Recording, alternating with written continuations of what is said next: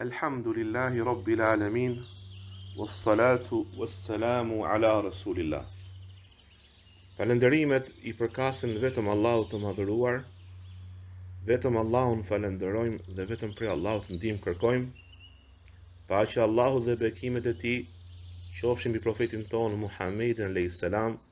Mbi familjen e tij, mbi shokët e tij Dhe mbi çdo besimtar i cili ndjek rrugën profetike deri ditën e fundit Të nderuar vëllezër, do flasim për një temë shumë të rëndësishme. Një temë e cila ka lidhje me besimin tonë, sikurse ka lidhje me kuptimin e saktë të fesë. Keqkuptimi i kësaj teme bëhet shkak për shumë devijime. Dhe nëse e kuptohet saktë, inshallah me lejen e Allahut të udhëzon në të kuptuarin e saktë të fesë dhe të largon nga devijimet. Tema jonë është vlera e logjikës në Islam, kufijtë dhe aftësitë e logjikës dhe qëndrimi i muslimanit ndaj saj, dhe qëndrimi i muslimanit ndaj saj. Logjika është forca perceptuese e përgatitur dhe e krijuar që të përfitojë e të marrë dije. Është ajo që e dallon njeriun nga kafsha dhe të mençurin nga i çmenduri. Këtë përkufizim kemi për qëllim në trajtimin tonë. Gjithashtu me logjikën disa kanë për qëllim dijet e domosdoshme, ku të gjithë njerëzit e logjikshëm bien dakord, si për shembull që e tëra është më e madhe se një pjesë e saj, ose që e krijuara patjetër e ka një krijues. Gjithashtu, disa të tjerë kanë për qëllim me logjikën dijet që arrihen me studim dhe argumentim. Gjithashtu me logjikën mund të kemi për qëllim ato punë që janë të nxitura nga logjika e shëndoshë. E për këtë është tregues fjala e Allahut të Lartësuar, Ata, jobesimtarët, Do të thonë, kur të shikojnë dënimin, sikur të dëgjonim ose të logjikonim, nuk do ishim prej banorëve të zjarrit. Pyetja e parë dhe kryesore dhe më e rëndësishme në këtë temë është, a është logjika e njeriut pa kufi dhe a ka mundësi të arrijë të perceptojë çdo gjë apo është e kufizuar? Kjo është prej çështjeve më të rëndësishme për muslimanin, dhe keqkuptimi i saj bëhet shkak për shumë devijime në besim dhe në të kuptuarin e saktë të fesë. E sakta është se logjika është e kufizuar dhe duhet ta vëmë në punë logjikën në ato çështje që asaj i është dhënë hapësirë dhe ka mundësi.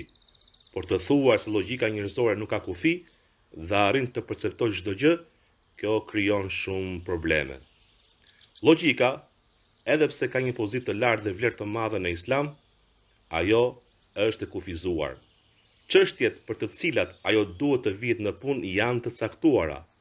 Ajo është e mangët dhe mund të gabojë, prandaj s'ka mundësi që të gjykojë ndaj diçkaje e cila është jashtë kufijve të saj, ose të jetë e pavarur në gjykim nga dija dhe njohja e ligjeve e rregullave hyjnore. Kjo tregon për përsosmërinë e Krijuesit dhe mangësinë e krijesës.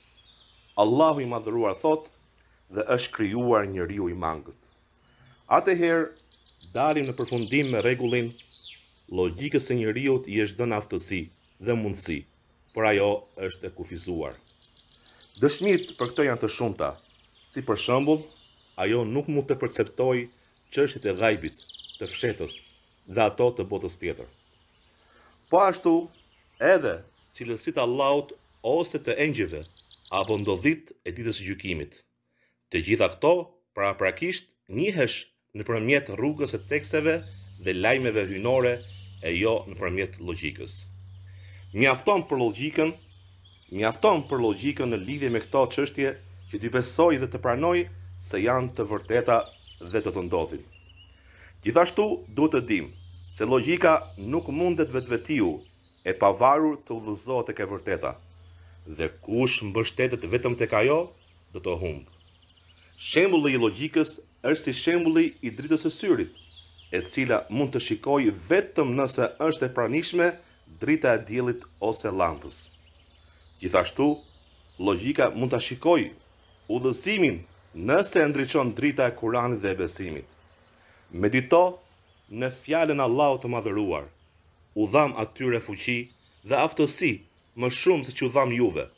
U dhamë atyre dëgjim, shikim dhe zemër, por nuk u bëri dobi dëgjimi, shikimi dhe as zemra që të udhëzoheshin, sepse ata i mohonin argumentet e Allahut dhe u dënuan për shkak të talljes së tyre.